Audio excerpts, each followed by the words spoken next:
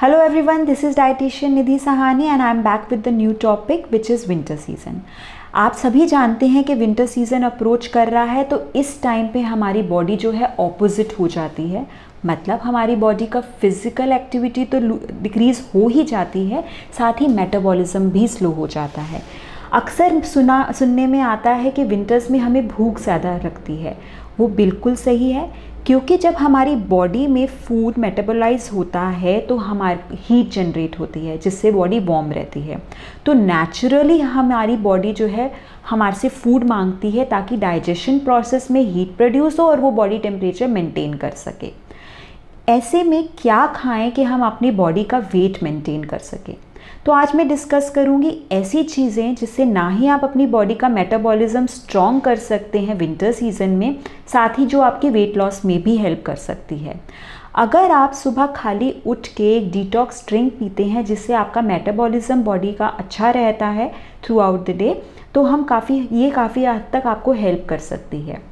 जैसे, अगर आप एक ग्लास गर्म पानी के अंदर एप्पल साइडर विनेगर डालेंगे और उसके अंदर एक चुटकी काली मिर्च और सिनेमन पाउडर डाल के एम्प्टी स्टमक पीते हैं तो हम अपनी बॉडी को पूरे दिन के लिए प्रिपेयर कर रहे हैं।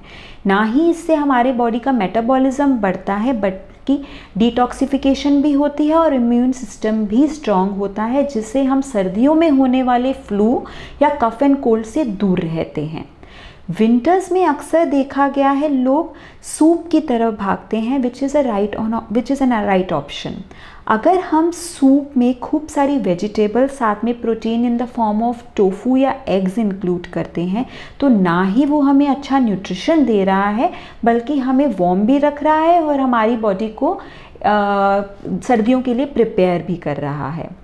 अक्सर देखा गया है कि लोग मिठाई की तरफ़ बहुत भागते हैं जब विंटर्स आती हैं, जैसे पंजीरी पिनिया हलवा एक्सेट्रा ये बिल्कुल सही है, कहना सही है कि अगर हम शुगर खाते हैं तो हमारी बॉडी में हीट जनरेट होती है, क्योंकि ग्लूकोज जब डाइजेस्ट होता है तो बॉडी में हीट प्रोड्यूस करता है।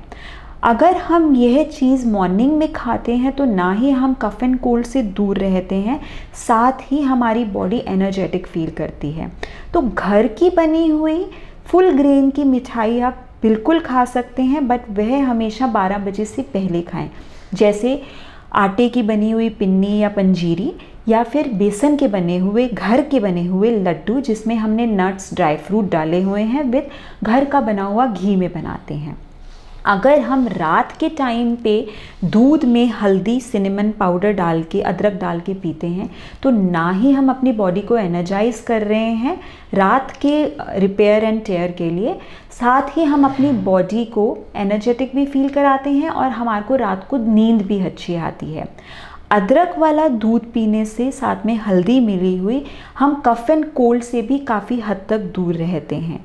बच्चों को कफ एंड कोल्ड से दूर रखने के लिए हम सुबह मॉर्निंग में अदरक के जूस और अनियन के जूस में एक चम्मच अगर हनी मिक्स करके देंगे तो ना ही वो कफ एंड कोल्ड से दूर रहते हैं। यह रेमेडी आपके अस्थमेटिक जो अस्थमैटिक पेशेंट्स हैं, उनके लिए भी लाभदायक है।